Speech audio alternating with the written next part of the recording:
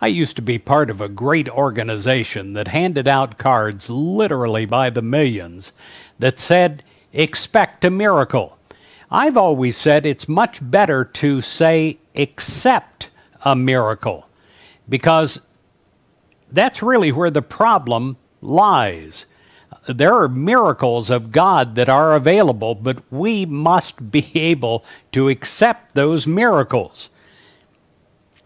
St. Francis de Sales said, When did God's love for you begin? When God began to be God. When did God begin to be God?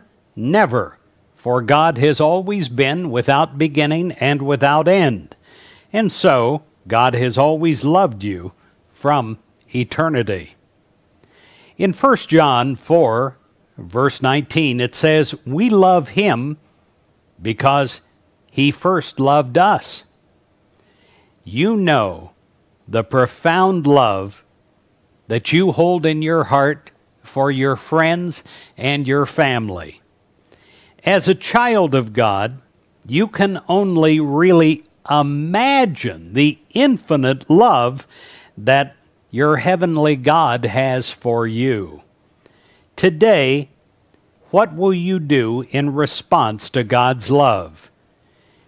Will you live in a way that is filled with purpose and joy? Will you celebrate God's creation while giving thanks for God's blessings? And will you share God's love with family and friends and even strangers? I hope so. God's message and God's love are meant to be shared, and they are meant to be accepted. To know that they're yours already, that all you have to do is accept it and take it into your heart.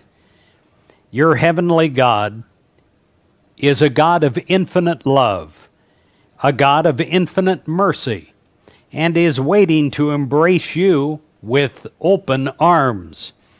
Accept God's love and share that love today and forever with all.